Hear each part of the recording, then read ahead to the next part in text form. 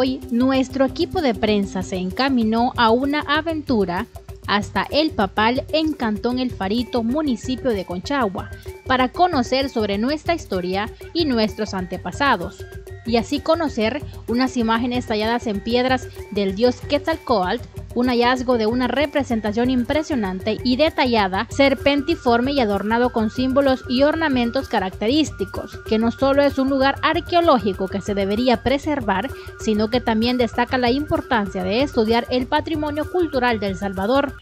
Aquí en la historia del volcán Conchagua ha habido mucho diseño rupestre, pero con el tiempo a raíz de construcciones eh, de las localidades y casas se ha ido destruyendo nuestro patrimonio de, rupestre en la región esta de área que yo conozco. Tengo más de 25 años de aquí.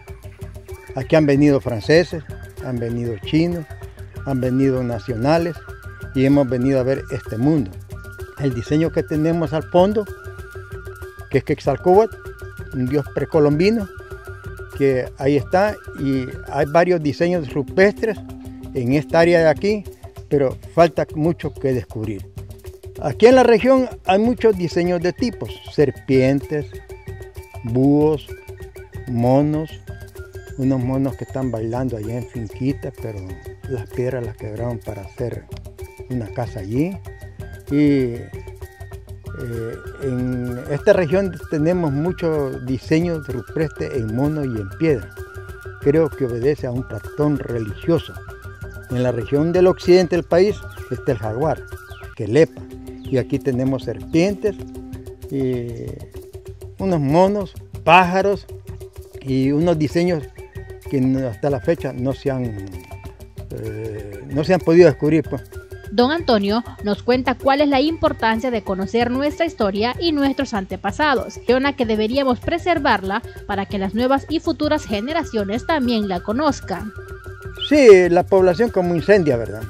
Ese es el problema y el crecimiento de población, construcción de casas, pero vamos a hacer algo por mantenerlos vivos, porque esa es nuestra historia y pueblo que no conoce esa historia está ciego. Que eh, es un, dios, ¿verdad? Prehispánico y en cada parte, en cada región aquí, aquí era un centro ceremonial hace miles de años.